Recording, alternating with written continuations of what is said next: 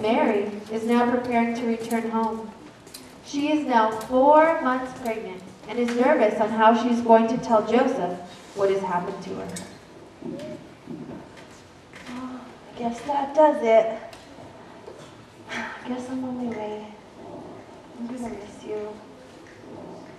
Elizabeth, please pray for me.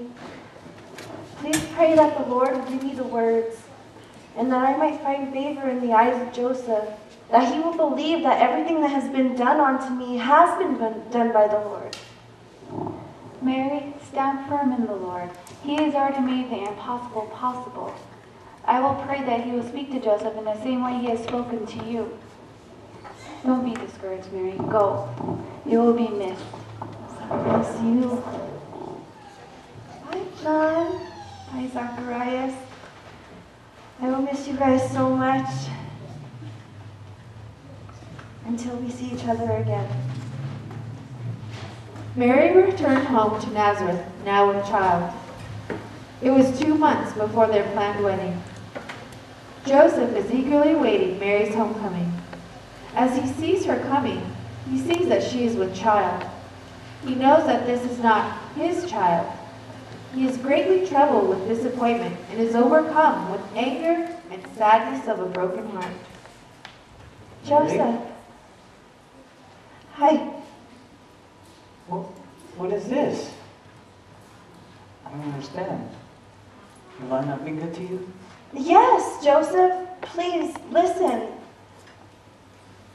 Please, I have much to explain and I have much to tell you. A messenger, a messenger came to me. He said that I was highly favored by God. He said that I would conceive and give birth to a son, and that I am to name him Jesus, Yeshua, for he is the Son of the Most High, Just- the Son of God. Just believe this messenger? Do you bear his child? No, no, Joseph, I am still a virgin. This child was not conceived by any earthly man, but conceived by the Holy Spirit. Please, Joseph, you have to believe me. I love you, and I tell you the truth. He said that it would be a sign unto me that my cousin Elizabeth in Judea was in her sixth month of pregnancy. She was barren and in her old age, and yet she still conceived and she has given birth to a son.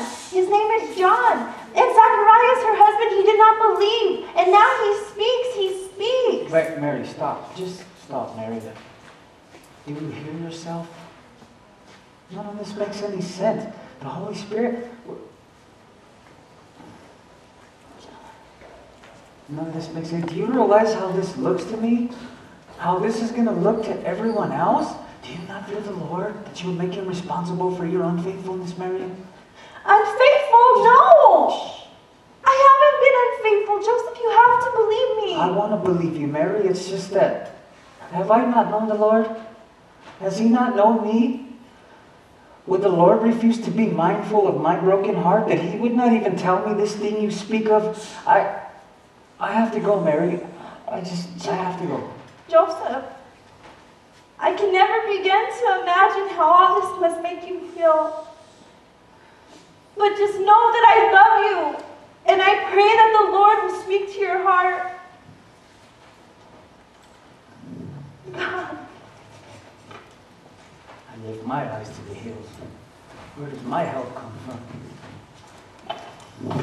Does my help not also come from you? I have hidden your words in my heart, Lord, that I might not sin against you, but my bride, she's given her mouth over to deceit. And now my life is filled with anguish. In your goodness, Lord, would you let me be put to shame? What else can I say? The weeping may endure through the night, but that joy comes in the morning.